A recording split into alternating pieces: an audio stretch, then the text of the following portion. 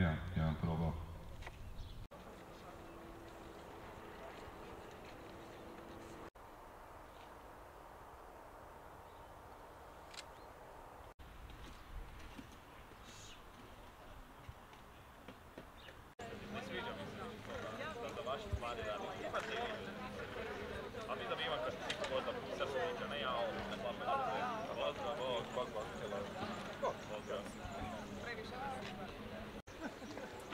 Pozdrav svima.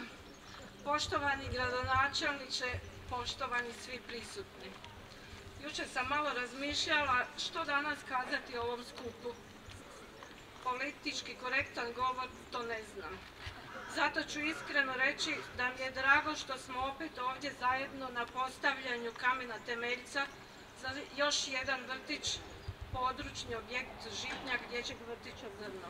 I odmah isto tako i moje ime Sretan Uskrs. I nadam se da ste se odmorili malo u krugu obitelji, prijatelja, bližnjih. Prije svega lijep pozdrav ravnateljici Dječjeg vrtića Zrno, gospođi Lusovec. Evo, kao što sam čuo, 11. a, gradonačelnik za vrijeme njenog mandata kao ravnateljica ovog dječjeg vrtića i evo, drago mi da kao 11. gradonačelnik smo u zadnjih pola godine postavili dva kamena temeljca za dva područna objekta ovog dječjeg vrtića, a evo, živo me zanima i da vidim gdje će biti treći. Ono što mi svakako bih htio reći jest vezano za ovaj sada objekt za koji danas imamo početak radova. Ja se uvijek veselim kad počinjemo radove na novim dječjim vrtićima, još više se veselim kada ih otvaramo nove i uskoro ćemo moći otvoriti novi dječji vrtić u Kašini. Za Ivanju Reku ste čuli koji je u sklopu ovog dječjeg vrtića Zrno, a očekujemo da bude gotov do početka pedagoške godine.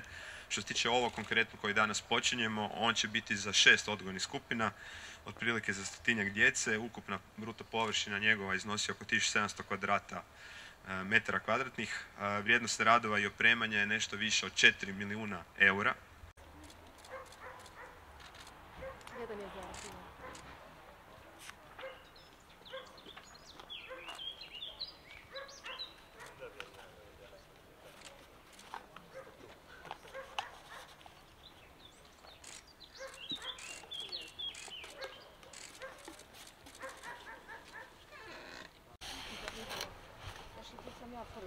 Значить, тобі на наймані з нас.